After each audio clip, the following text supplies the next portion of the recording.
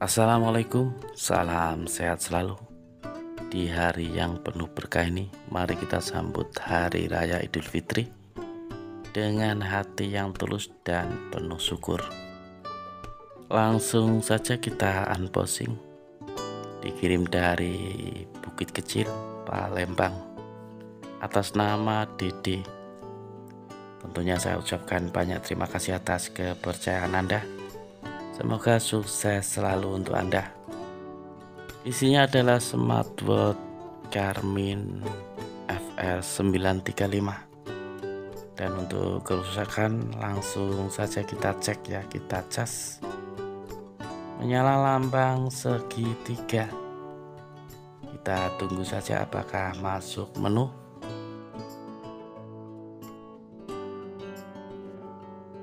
Dan sudah masuk menu ya baterai di 87% kita coba cabut cas dan langsung mati. Kita coba sekali lagi ya bosku.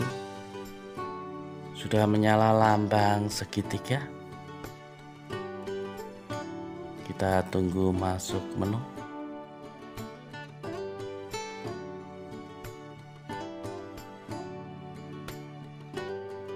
dan sudah masuk menu baterai sama ya.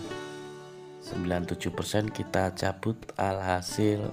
Podo ya sama saja.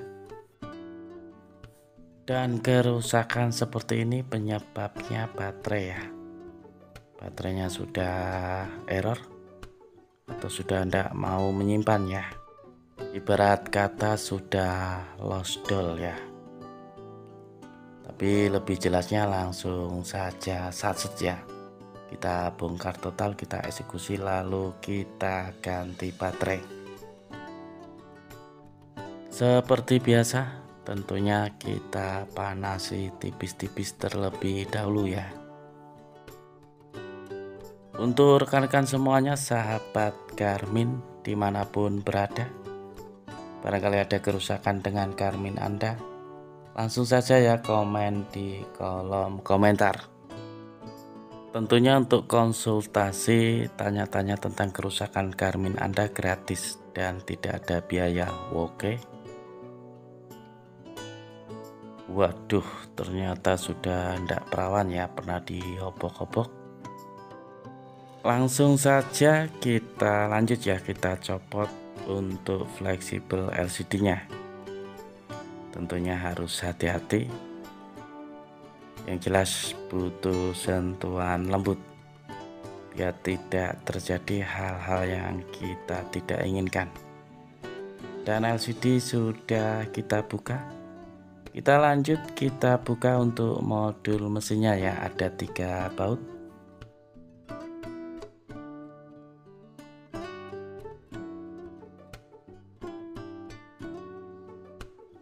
lalu kita lanjut copot semua fleksibel ya jalur baterai getar dan HR ya. Dan kita angkat untuk modul mesinnya ya. Hati-hati.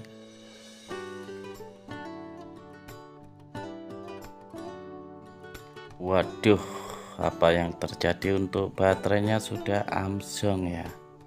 Sudah seperti ini untuk kondisi baterainya lalu lanjut cacat ya kita coba ganti baterai bosku. Dan setelah kita ganti baterai tentunya kita rakit kembali ya. Kita rakit dengan hati-hati. Kita pasang terlebih dahulu semuanya ya. Semua fleksibel baterai getar dan fleksibel HR nya ya. Setelah semuanya terpasang lalu kita baut ya.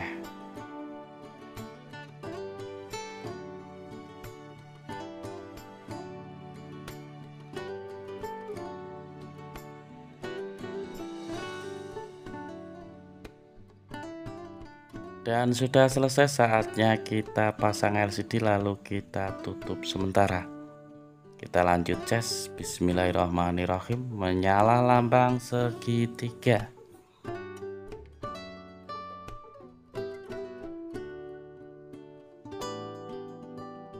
Dan sudah masuk menu baterai di 3% kita cabut. Dan alhamdulillah ya tidak mati. Mantap mantap jos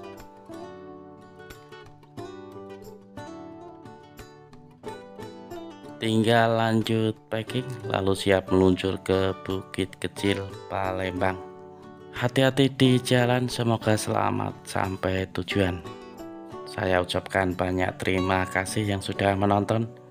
Semoga bermanfaat. Bila Anda suka dengan video ini, jangan lupa di-share ke teman-teman Anda. Karena video ini sangat tepat buat teman-teman Anda pengguna Garmin. Saya Galuk Setiawan, mohon pamit undur diri. Salam sejahtera buat kita semua dan tetap semangat. Assalamualaikum warahmatullahi wabarakatuh.